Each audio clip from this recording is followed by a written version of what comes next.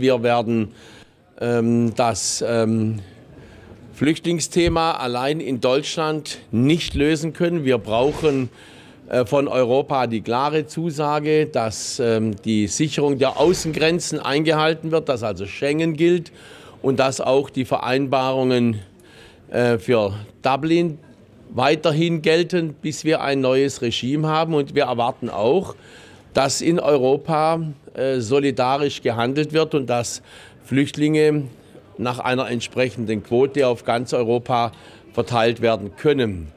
Wir haben dann in dieser Woche auch das äh, Treffen der Länder mit dem Bund, den sogenannten Flüchtlingsgipfel.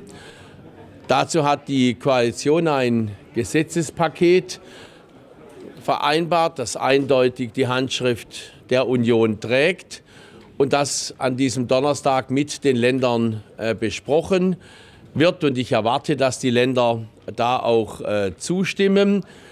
Ich weiß, dass es äh, vor allem bei den Grünen den einen oder anderen Vorbehalt gibt, aber da hilft nur die Erkenntnis des äh, Tübinger Oberbürgermeisters Palmer, der sagt, ähm, wer Verantwortung vor Ort trägt, der muss sich der Wirklichkeit stellen.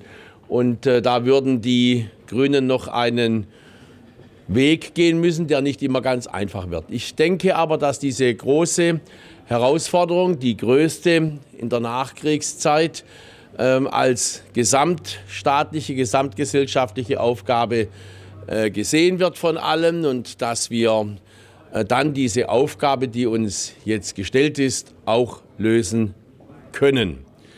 Wir haben dann in dieser Woche im Deutschen Bundestag äh, auch eine Regierungserklärung der Bundeskanzlerin zu einem etwas anderen Thema, nämlich der Nachhaltigkeitsstrategie, die bei der UN diskutiert wird. Aber sicher wird das Thema Flüchtlinge auch eine Rolle spielen.